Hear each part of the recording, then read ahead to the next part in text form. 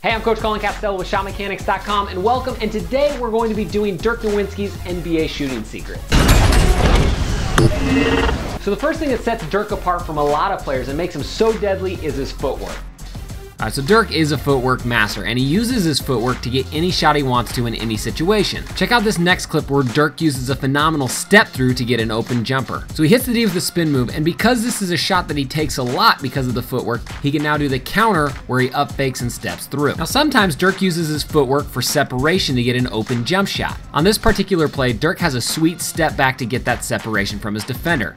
He plants really hard, and then that way he gets the space to shoot. Now let's rewatch that last clip, but in slow motion. I have noticed that on a lot of Dirk's moves, he actually travels. All right, let's back that up and I'll show you. Now keep in mind, Dirk has great footwork for his league. So if you wanna use some of his moves, you might have to tweak them just a little bit. All right, so on the catch, Dirk's pivot foot's his left foot. All good right now, but notice when he starts to make his drive, his pivot foot switches to his right foot.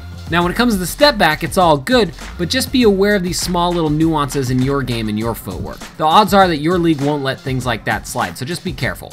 Now the next thing I love about Dirk's shot is that he gets perfect extension on his shooting arm. Now you've probably heard me talk about this before, but Dirk is one of the best in the league at getting the extension. Sometimes it looks like he might not because he doesn't hold his follow through, but pretty much every time his arm locks straight. Because his arm finishes at the same spot every single time, it really ups his consistency. And that makes it easier for him to hit tough fadeaways and off balance shots. So keep this in mind on your stroke. Every time you take a shot, you wanna make sure that your arm locks straight.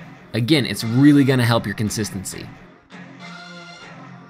Now Dirk's a great shooter, but I wanna go over just a little trick that he uses to get some extra space for his jump shot, and that's causing contact with the defender.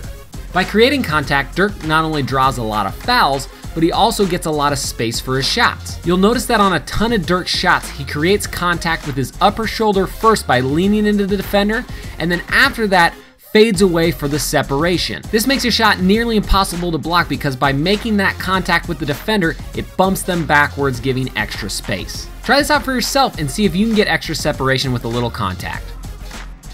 So those are Dirk Nowitzki's shooting secrets. And if you want to get our top three shooting secrets for free, all you got to do is click the annotation up here or the link in the description and you'll get them immediately. Also, feel free to hit that subscribe button because we're putting out four videos every single week and we want them to come directly to you. All right, go work on your stroke and don't forget to tune in Monday for our drill of the week.